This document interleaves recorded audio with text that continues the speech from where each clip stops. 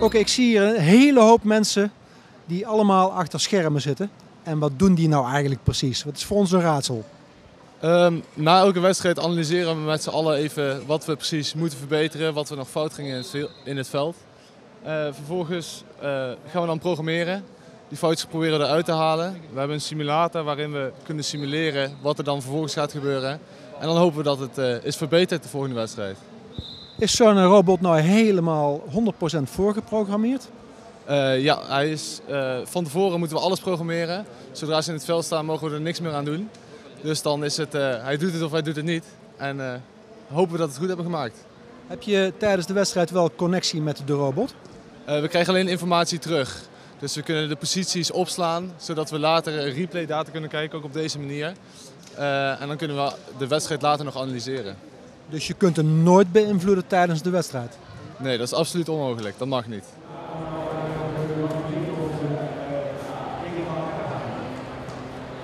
Vertel eens jouw dubbelrol. Wat, wat, wat doe je binnen, binnen RoboCup zelf?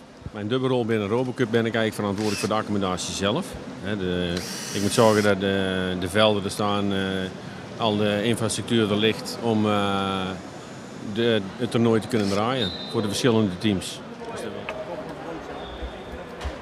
Ik ben nu ben ik eh, de wieltjes gewoon aan het maken. We hebben nu al een drie, vier dagen toernooi gedraaid.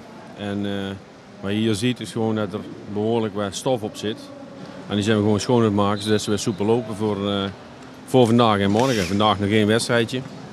En morgen eh, hoop ik twee, twee wedstrijden sowieso. Dus eh, dat is eigenlijk even een, een onderhoudsbeurt voor onze robots. Hoor ik dat knutselen? De 5K staat voor 5000 euro, eh Pet. En ik zie eh, hele mooie robots. Die zijn veel duurder. Leg eens uit. Ja, nou, eh, de Turtles, eh, de, de verdedigende wereldkampioen, die, zijn, eh, die kosten op dit moment 26.000 euro per stuk. En het is een heel goede ontwikkeld platform.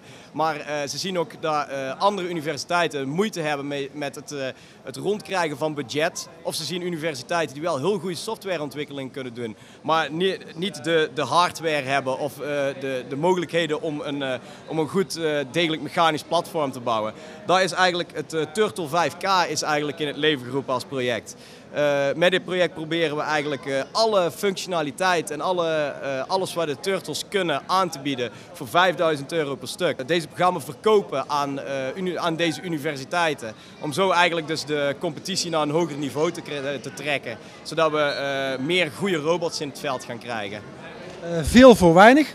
Een soort Lidl-robot. Eh, nee, nee. Eh, hij moet qua kwaliteit. Nou, ik zeg niks, niks te, te nadelen van de Lidl. Maar het moet eh, qua kwaliteit en functionaliteit gewoon dezelfde robot zijn. En dezelfde mogelijkheden. Maar dan wel voor 5000 euro. Dus het is een. Dus volgend jaar zijn al die robots Turtle 5K robots. ja, dat zou heel mooi zijn. Want dat betekent dat we er heel veel verkocht hebben dadelijk.